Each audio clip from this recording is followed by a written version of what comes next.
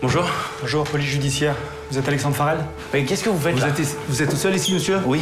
On va procéder à une perquisition. Vous pouvez vérifier, s'il vous plaît C'est c'est forcément une erreur. Demain, je rentre chez moi aux États-Unis. Ah, plus maintenant, non. Je suis maître Arthur Célérier, votre avocat commis d'office. Est-ce que tu sais ce qu'on te reproche Ils disent que j'ai violé une fille. Vous reconnaissez les faits qui vous sont reprochés Non. Elle était consentante. Ma fille a porté plainte pour viol contre ton fils. Impossible, ça n'a aucun sens. L'enquête est en cours. Vous êtes placé sous contrôle judiciaire. Vous pourriez vous retrouver en prison. Notre fils, bon, c'est sûrement une folle. Et s'il l'a vraiment violé? Ah oui, tu te rends compte de ce que tu dis?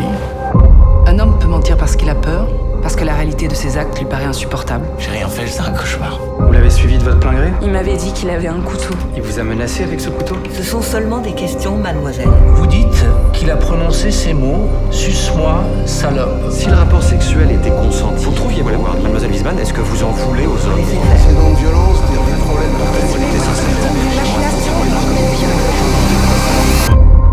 Sa vie va être foutue La vie de qui, Claire? La vie de qui va être foutue? La vie de qui